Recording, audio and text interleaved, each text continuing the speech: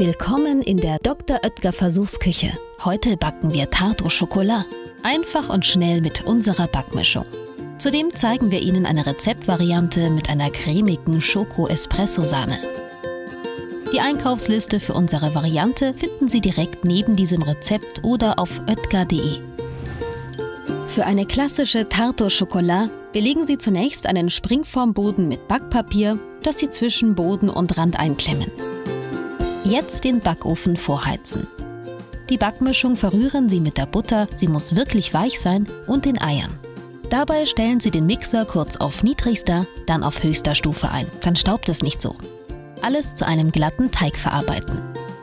Jetzt den Teig auf dem Springformboden glatt streichen und ab damit in den Backofen. Wir schlagen Ihnen jetzt eine leckere Variante der Tarte vor. Für unsere Schoko-Espresso-Sahne-Ecken geben Sie den Teig nicht in eine Springform. Stattdessen streichen Sie den Teig auf ein halb gefettetes, mit Backpapier belegtes Backblech. Das sind ungefähr 40 x 15 cm. Legen Sie einen Streifen Alufolie als Begrenzung vor den Teig. Auch in dieser Form muss die Tarte nun etwa eine halbe Stunde backen. Nach etwa 25 Minuten machen Sie eine Garprobe. Dafür mit einem spitzen Messer in den Kuchen stechen. Er ist erst fertig, wenn kein Teig mehr am Messer haftet. Soll die Tarte au Chocolat besonders saftig sein, dann nehmen Sie sie nach der ersten erfolgreichen Garprobe heraus. Jede weitere Minute Backzeit lässt den Kuchen etwas weniger saftig werden. Lösen Sie sofort nach dem Backen den Kuchenrand von der Form. Dann abkühlen lassen. Während des Erkaltens setzt sich der Kuchen. Den Kuchen stürzen Sie gleich zweimal. Zuerst auf ein mit Backpapier belegtes Küchenbrett oder auf einen flachen großen Teller.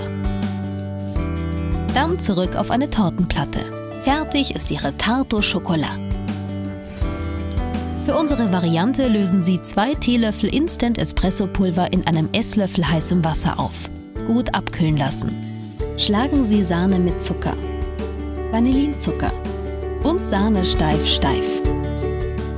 Den Espresso unterrühren und die Sahne auf dem Kuchen glatt streichen. Schneiden Sie die Gebäckplatte nun in acht Rechtecke, die Sie nochmal diagonal halbieren. Die Ecken bis zum Servieren kalt stellen. Wenn Sie möchten, verzieren Sie sie kurz davor noch mit Schokoraspeln oder Mokkabohnen. Und schon haben Sie sich ein Stück Frankreich nach Hause geholt. Die Dr. Oetker Versuchsküche wünscht Ihnen viel Spaß beim Ausprobieren.